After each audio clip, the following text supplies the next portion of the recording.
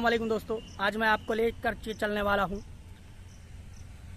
उत्तर प्रदेश के ज़िले उन्नाव के सफ़ीपुर शरीफ में, जिसे मदीनतुल औलिया कहा जाता है, जहाँ पर हज़रत मखदूम शाह सफ़ी रहमतुल्लाहि ताला का आस्थाना मुबारक है।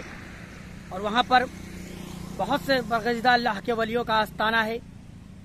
तो चलिए चल कर के आपको ज़ियारत करवाते हैं उस अजीम आस्थानों की, जो वहाँ पर वाक़ हैं। इन ताला, बहुत जल्द हम उन आस्थानों पर पहुँच उस बरगजीदा मंजर की आपको ज़ियारत करवाएँगे, जो वहाँ पर मौजूद है। चलिए इन आपको पहुँच करके ज़ियारत करवाते हैं। हज़रत मखदूम शाह सफ़ी रहमत ताला और वहाँ पर बने और भी आस्थानों की। दोस्तों, इस वक्त हम सफ़ीपुर के मेन मार्केट में हैं, और मैं सफ़ीपुर पहुँच चुका हूँ। ये सफ़ीपुर का कुछ रास्ता है दरगाह के लिए जाने का। आप, उन्नाव से तकरीबन 30 किलोमीटर दूर वाक़ है सफ़ीपुर।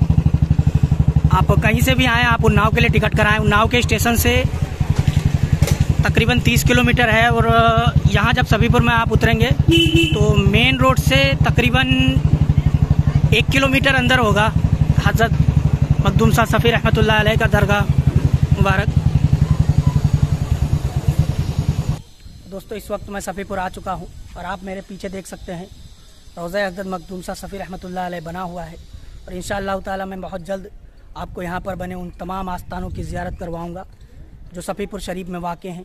आप मेरे पीछे देख सकते हैं। वो तमाम गुंबद जो यहाँ पर बने हुए हैं। अल्लाह के बहुत से वली इस ज़मीन पर आराम फरमा है।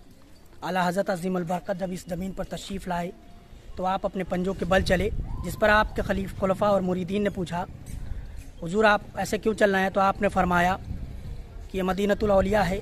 यहाँ, ये अलियाओं की ज़मीन है और यहाँ पर किस जगह पर कौन से अलिया इकराम जलवा अफरोज़ हैं और मैं उनकी शान में बेअदबी नहीं करना चाहता, इसी के लिए आप यहाँ जब आए तो पंजों के बल चले।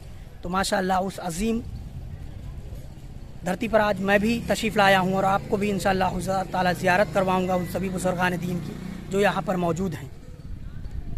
दोस्तों, ये आस्थाने हैं जो सफ़ीपुर शरीफ में बने हुए हैं। यकीनन यहाँ पर बहुत से अल्लाह के वलियों के आस्थाने बने हुए हैं। मैं आपको दिखाऊँगा इन आपके दिल और गलूब मुनवर और मुजल्ला हो जाएँगे जब आप यहाँ पर इतने अजीम का और कसर तादाद में आस्थाने देखेंगे। अल्लाह के बहुत से वलियों के आस्थान सफ़ीपुर शरीफ में वाक़ हैं। तभी इसे मदीनतुल्लिया का लकब दिया गया है। आप देख सकते हैं, अल्लाह के अजीम वलियों के आस्थाने यहाँ पर जो बने हुए हैं। ये आस्थाना मुबारक हज़रत खादिम सा सफ़ी रहमत ताला का है। और मैं यहाँ के सबसे मशहूर और मरूफ बुज़ुर्गान दीन हज़रत शेख मखदूम सफ़ी रहमत ताली का यह आस्थाना मुबारक है, जो यहाँ के सबसे मशहूर मरूफ बुज़ुर्ग हैं। आप देख सकते हैं, ये उनका आस्थाना मुबारक है। और यहाँ पर इस तरह के बहुत ही कसर तादाद में बहुत आस्थान मुबारक मौजूद हैं। तो इन ताला मैं आपको ज़ियारत करवाऊँगा अभी सभी आस्थानों की। या आप बाहर से देख सकते हैं कुछ ऐसा नज़ारा है यहाँ का, माशाल्लाह। देखिए कितने प्यारे और दिल को और गलूब को मुनवर मुजल्ला कर देने वाले रोज़े हैं। माशाल्लाह सुबहान अल्लाह आप यहाँ आएँगे तो आपके दिल को पुरसकून हासिल होगा इन आस्थानों की ज़ियारत करके।